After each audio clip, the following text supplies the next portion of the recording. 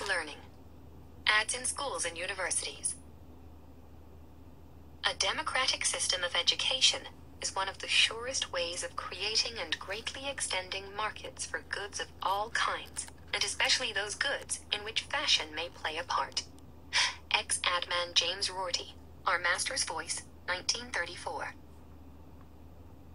Although the brands seem to be everywhere, at kids' concerts, next to them on the couch, on stage with their heroes, in their online chat groups, and on their playing What's up guys, it's me review Jimmy. So this is the book review, the No Logo 10 anniversary edition. Again my review apply for the audiobook also for the textbook uh, this book is 10 out of 10 if you are thinking to commit to marketing digital marketing e-marketing whatever kind of marketing we are starting to launch a product if you're going to build an online business whatever you wanna do this book is for you. I have never so much hypely review any book. This is 10 out of 10 this is a masterpiece by naomi Klein, if I'm not pronouncing her name wrong, I become a huge fan. This book is a masterpiece. Let me show listen, show you more. Chapter 6 You can listen. Brand Bombing Franchises in the Age of the Super Brand.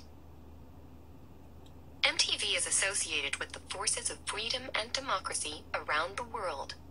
Viacom CEO Sumner Redstone, owner of MTV, October 1994.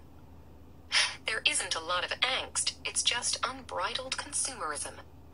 I mean, this book is a masterpiece. Everyone should listen to this book once, only once in their lifetime, at least once. 10 out of 10. The link will be in the description box below. Subscribe.